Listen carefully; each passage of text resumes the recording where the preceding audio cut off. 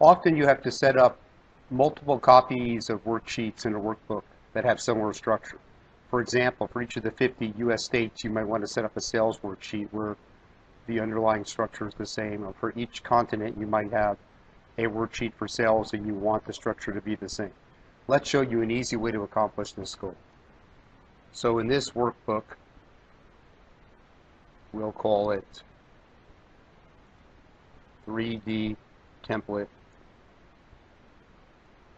temp, I guess.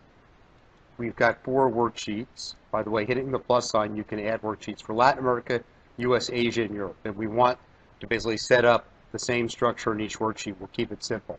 But just a little tip here, you do control shift page down, you cycle between your worksheets. Control shift page up, you go back to the beginning. So that's fairly straightforward. Now here's the way this works.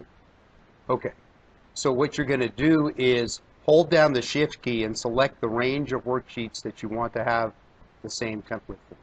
So I'm holding down the shift key. I was in Latin America and now basically I've grouped these worksheets. So now let's suppose in A1 I want to have price in A2 demand and in A3 I want to have revenue and let's say I put in a price and demand they would be different in each place and revenue is price times demand. Okay, now I've done it. If I hit enter and I just hit escape key or click on the bottom here to get out of what's called that group mode, you can see every worksheet looks the same.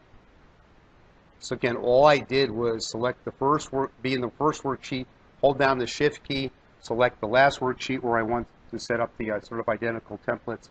Then in the first worksheet, set up the template, and all the worksheets are set up in identically the same in, in the same identically the same fashion. I guess that's an oxymoron. Okay. But that concludes this short video. But remember that control shift, page up or down, keystroke shortcut, because that's very useful.